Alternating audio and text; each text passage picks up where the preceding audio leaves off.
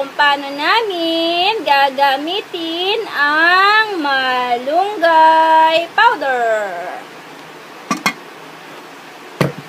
This is my malunggay powder po. Konti lang kasi pag gumagawa talaga ako, konti lang. Para ay, hindi siya matagalan masyado. Siguro ito mga magagamit ko siya ng 2 weeks. 2 weeks.